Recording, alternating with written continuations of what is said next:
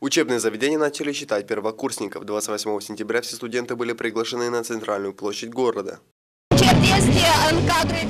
Данный концерт организован для всех студентов профессиональных школ района Флорешт.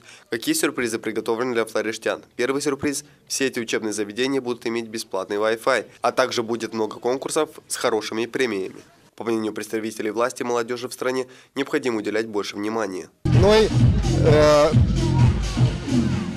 Мы хотим создать условия для молодежи, чтобы они имели возможность учиться где хотят, даже если за границей. А также хотим, чтобы они вернулись в нашу страну и участвовали в развитии. И хотя не все молодые люди были осведомлены о предстоящем концерте, но были приятно удивлены. Есть факт Фрумос.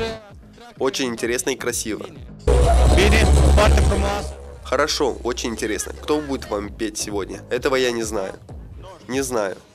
Красиво и хорошо. Кто будет петь?